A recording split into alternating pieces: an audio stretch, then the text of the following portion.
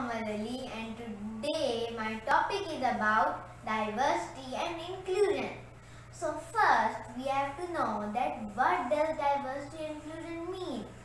It means understanding that each individual is unique and recognizing our individual differences. I have a birthmark. Instead of seeing my qualities, students laugh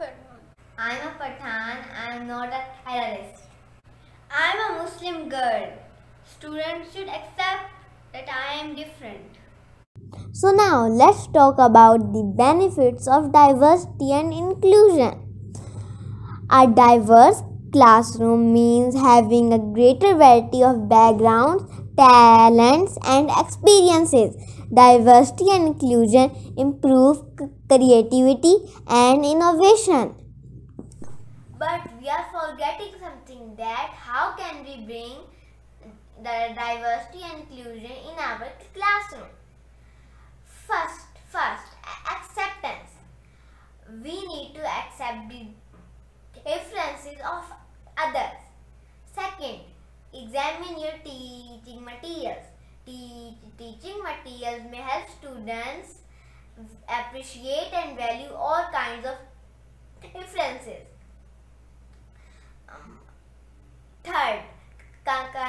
Conversation. Conversation shouldn't be just limited words.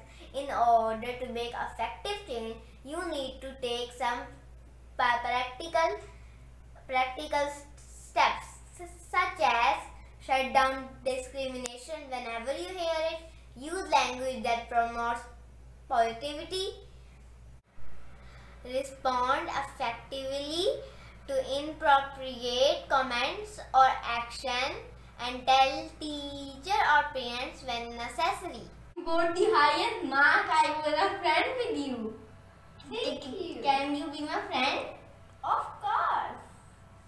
The diverse classroom is the best classroom.